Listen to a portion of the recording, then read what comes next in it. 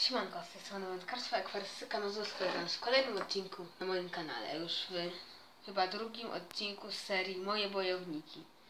Więc zaraz się przenosimy do akwarium i widzimy się po przerwie. Jak widać nagrywam to jest godzina 19.07 i jest trochę, jest trochę e, ten, zła jakość, bo wcześniej nie miałem czasu nagrać, więc to, to jest moja samiczka. Byłem ostatnio zoologicznym. I będę kupował jeszcze jedną niebieską samicę. To jest mój samczyk, to jest moja samica. Jeszcze informacja dla akwarystyka 100%.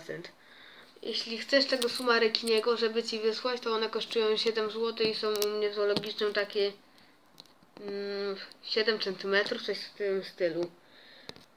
Więc sobie jeszcze na nie popatrzcie. Samiczka.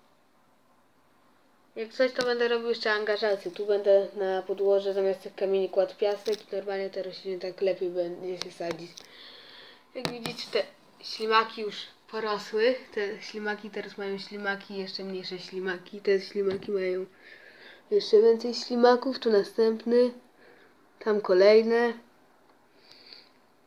Więc to by było na tyle. Dziękuję wam, wam za oglądanie. Myślę, że się wam odcinek spodobał i pa!